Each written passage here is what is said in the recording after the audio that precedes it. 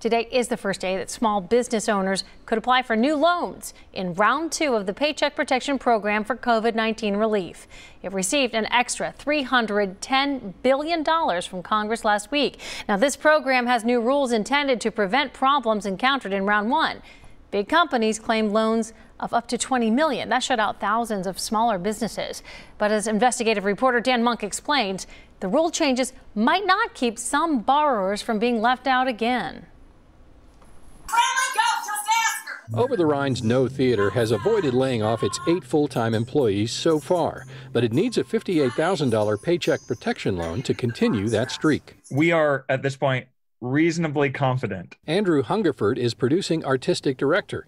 He applied for the loan in March during the first round of the Paycheck Protection Program. Maybe 75% confident that will be that will be funded. But Hungerford was surprised to learn there is no rule preventing a round 2 borrower from finalizing a loan before he can. That's uh deeply unfair to all of the organizations that have already gotten their paperwork in. Cincinnati Congressman Steve Chabot tells the I team there is no rule granting a preference for the 700,000 borrowers whose loans were in process when the program ran out of money after just 14 days. If you happen to have a bank or a credit union that's lax and, and isn't doing a very good job and your your application sitting on somebody's desk in the back room and somebody else goes to a, a you know a bank that's more on the ball, well, the other person might get their line before you. It's just really overwhelming. We first introduced you to Emily Wagner a couple of weeks ago. It should, in my opinion, go to the people who were shut down first, who don't have any income coming in. She owns Newport Fitness in Newport and laid off 16 part time employees. She applied for a paycheck protection loan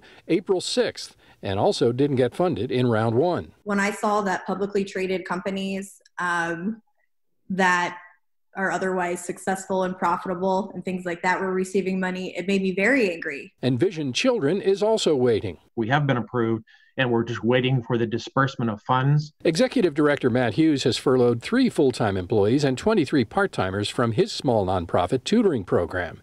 He wants to bring a few employees back in May to do private tutoring sessions on a limited basis. I think we're going to be we're going to be okay.